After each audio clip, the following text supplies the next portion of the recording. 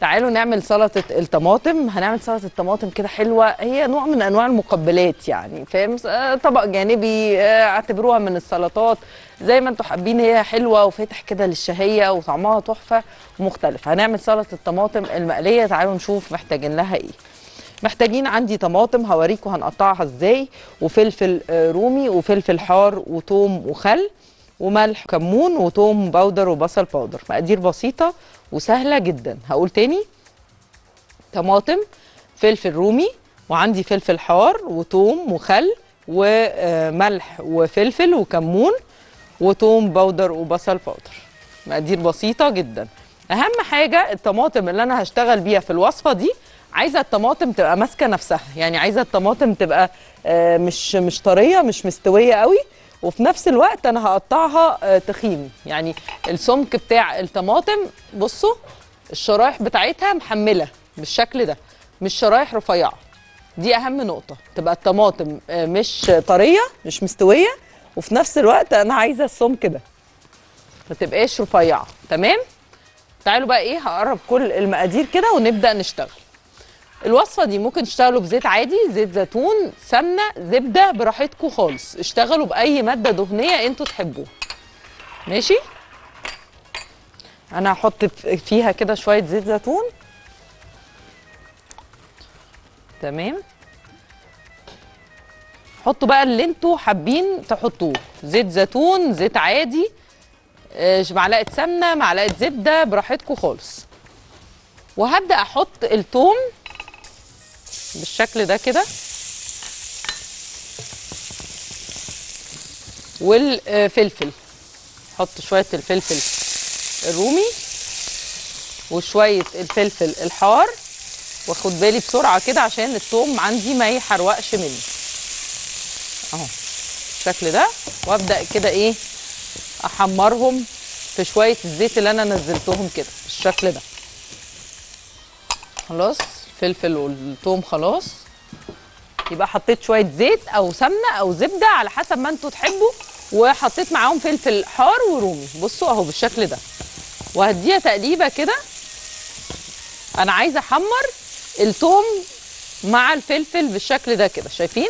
استنيه الدوم التوم كده ياخد لون ذهبي وبعدين هنزل عليه بالخل. تمام؟ نديله كده تحميرة خلاص بقى لونه بصوا ذهبي زي ما أنتم شايفين كده. هقوم نازلة عليهم بشوية خل بالشكل ده. أهو. حوالي ربع كوباية من الخل كده بالشكل ده. هخلي كل الكلام ده كده يغلي مع بعض. وهحط فلفل أسود ملح. ممكن تحطوا على فكرة مكعب مرق لو حابين. هحط توم وبصل باودر. وهنحط كمون. صفاء صباح الفل. صباح الخير. ازيك يا حبيبتي؟ عاملة إيه؟ الحمد لله تمام. دايما إيه يا رب؟ الحمد لله يا حبيبتي. كله زي الفل والله. كله جميل. تسلم إيدك يا شيخ. الله يخليك يا حبيبتي. الله يخليك. بجد أكلك كله تحفة بصراحة. الله يخليك يا حبيبتي. تسلمي والله. ده من ذوقكم يا حبيبتي. حبيبتي تسلمي الله يخليك. آه بقول لحضرتك أنا عايزة أعرف طريقة ال- البيتزا.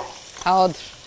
وفي حاجة تاني كنت عملتها قبل كده الفطير المشلتت. تمام. عملته ونشف مني جدا ومعرفش. في حاجة ما ثبتتش معايا. هنعمل كل الخطوات بتاعت الفطير المشلتت هنعملها كمان قدام بعض عشان الفطير المشلتت محتاج يتشاف. يعني مهما شرحتهولك لا محتاج في تفاصيل كده محتاجة تتشاف. فالفطير المشلتت من الحاجات اللي ان شاء الله هنعملها مع بعض. البيتزا هقولها لك حاضر؟ عينيا يا حبيبتي. وبرده إحنا عملنا حلقات كتير جدا على البيتزا تقدري ترجعي لها عشان تشوفي طرق التشكيل أو طرق الحاجات اللي إحنا نوعنا فيها في البيتزا كتير جدا حشوات والكلام ده كله.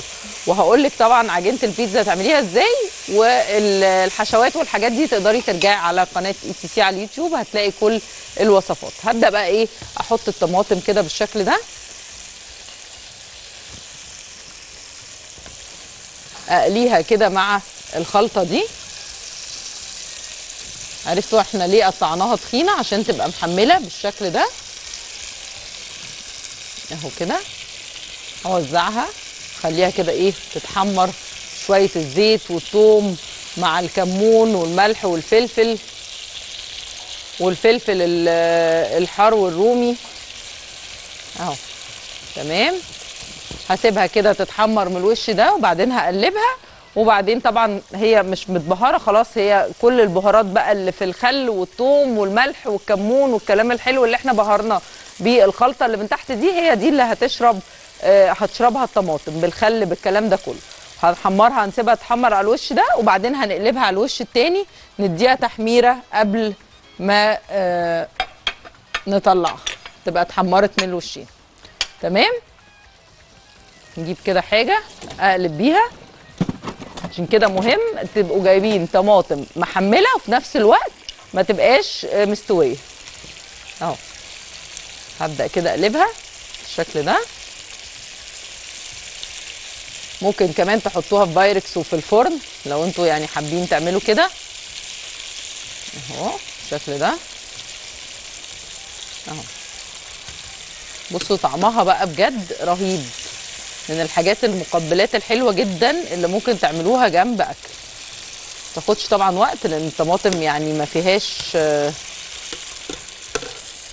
أي روح يعني اللي هي في ساعتها على طول بتقوم دخلت في السوا اللي إحنا عايزينه. بصوا الوش ده خلاص اتحمر هحمره على الوش تاني وهبدأ إن إحنا نقدمه مع بعض. هجيب كده مثلا البايركس ده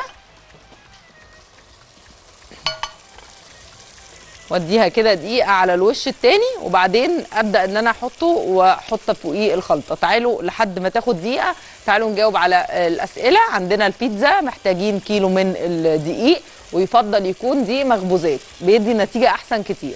بعد كده هنحط عليه معلقة من السكر معلقة من الخميرة ورشة آه، ملح وربع كوباية من الزيت سواء زيت زيتون أو زيت ذرة عادي. وبعد كده هعجن بنص لتر مية آه، دافية بالتدريج. ده كده العجينة بتاعه البيتزا هنعمل بقى الصلصة والحشوات زي ما أنتوا عايزين. طبعا في حشوات يعني كتير جدا. تقدروا تاخدوا أفكار لو اتفرجتوا على الحلقات اللي إحنا عملنا فيها البيتزات إحنا عملنا كذا حلقة فيها آه، أشكال كتير جدا من البيتزا. تمام؟ دي كده بالنسبة للبيتزا. عندنا إيه تاني؟ أستاذ حسين صباح الفل. يا صباح الفل يا شيخ. صباح الجمال. مختفي خالص يا أستاذ حسين. لا ابدا والله. الله يخليك. هو شكل الطماطم رهيب يا شيخ الله يخليك الله يخليك. شوفوا عاملين غدا إيه النهارده؟ دي. جنبها بقى على طول. قريبة من. الطماطم المخللة شوية بس معمولة بطريقة مختلفة شوية. صباحك جميل يا أستاذ أيوه الله يخليك. لا صباحك لك يا جميل شيخ والله. الله يخليك الله يخليك الله يخليك. لا. سلامنا لكل اسوان الجميله والله بيسلمها على حضرتك جدا الله والله شيخ يخليك الله يخليك. تسلم تسلم. الله مع السلامة مع السلامة. أنا كده الطماطم كده تمام جدا بالنسبة لي. هبدأ بقى إيه؟ نحطها كده بالشكل ده. بصوا أهو. هرصها كده جنب بعض. سواء خلاص أنا كده هي بالنسبة لي استوت خلاص. سواء عايزة أقدمها كده حابين تزودوا شوية في في الفرن تحروقوها كده من الوش شوية برضو تمام؟ زي ما أنتوا حابين. أنا كده هي بالنسبة لي تمام جدا. حابين تزودوا؟ برضو تمام. أهو. أوسع كده المكان الطماطم التانية. okay. okay.